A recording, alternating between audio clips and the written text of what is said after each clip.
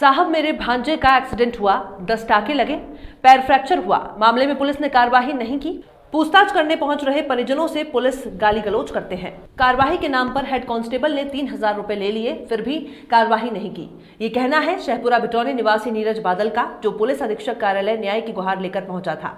न्याय की फरियाद लेकर पुलिस अधीक्षक कार्यालय में खड़े इस शख्स का कहना है कि 4 अक्टूबर 2019 उसके भांजे संस्कार शर्मा को बाइक सवार M P two zero M H five one two nine के चालक ने टक्कर मारी थी, जिसके बाद भांजे को उपचार के लिए जबलपुर के आशीष हॉस्पिटल में भर्ती कराया गया था। इस हादसे में भांजे का पैर फ्रैक्चर हो गया था, जिसे 10 टाके लगे थे। उक्त अस्पताल के अंतर्गत आने वाले मदन महल थाने में उसने मामले की शिकायत की थी, जहाँ से उसे ये कहा गया था, मामला शहपुरा थाने का है, जो उक्त मामले को शहपुरा थाने ट्रांसफ़र कर दिया जाएगा। लेकिन जब वो कार्यवाही की जानकारी लेने शहपुरा थाने पहुँचा तो उसकी कोई सुनवाई नहीं हुई। इस तरह कई बार थाने के चक्कर काटता रहा लेकिन उसके साथ पुलिसकर्मियों द्वारा गाली गलौज की जाने लगी। इसी बीच थाने में मौजूद हेड कांस्टेबल के पद पर पदस्थ रामकरण मिश्रा ने कहा था कि खर्चा पानी लगेगा उसके बाद आपका काम हो जाएगा।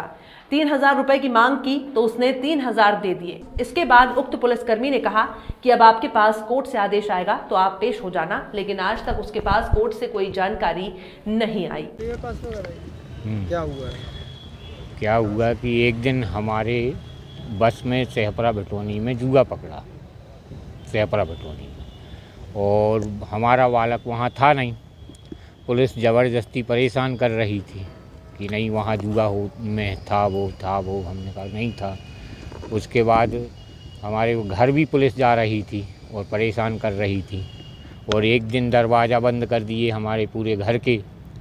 फिर हमारी बहू उठी बहू बात सोती थी जिस कमरे में, वो दरवाज़ा खटखटाया पुलिस ने, फिर बहू उठी, बहू बाहर आई, बहू ने फिर बाकी दरवाज़ा खोले हमारी बहू ने, उसके बाद फिर हमारा बालक सहपरा आया, सहपरा में रास्ते में से हमारे बालक को उठा लिया पुलिस ने और बहुत मार मारी है, चार पुलिस दो एस आई ने और दो पास में चाय की दुकान पर खड़ा था तो पुलिस सौ, वाले सौ नंबर में आए, चार पाँच लोग थे हेमंत यादव एस आई और प्रमोद पटेल और दो लोग और अन्य थे।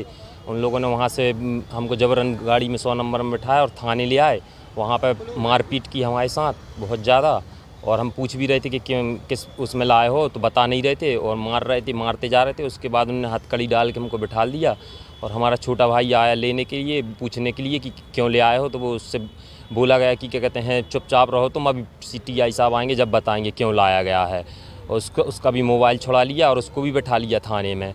उसके बाद फिर पैसों की मांग करने लगे और हमारे पास जो पैसे थे, वो भी उनने रख लिए। कितने पैसे रखे थे आप?